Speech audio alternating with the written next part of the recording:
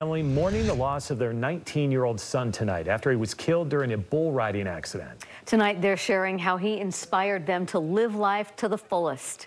News specialist Debbie Worthen is live in Provo right now. Debbie, another tragedy tonight.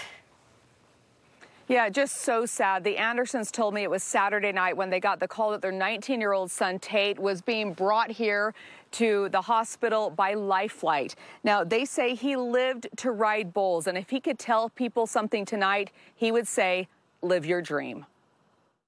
He kept us on our toes.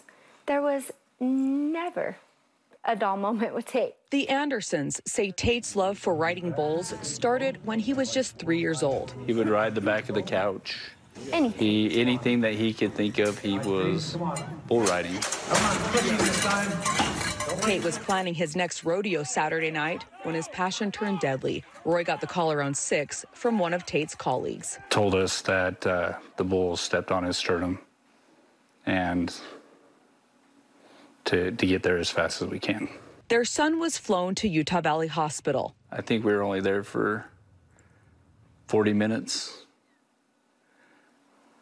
before we got the news that in surgery he didn't make it. Now, as Megan talks about him, she clutches his cross. He lived, breathed, loved. That was his language, was bull riding. For the Andersons, they will miss his zest for life, his passion for rodeo, and his enthusiasm that was contagious to everyone around. He just loved to play and he loved to he loved to make people happy. That could kid could have been a kid for life. Talking to them tonight, you could feel where he got all of that enthusiasm for life. They were such an incredible couple. There is a GoFundMe set up to help with medical expenses. That link will be on our website, ksltv.com. Back to you. It's going to be such a tough loss. Debbie, thank you.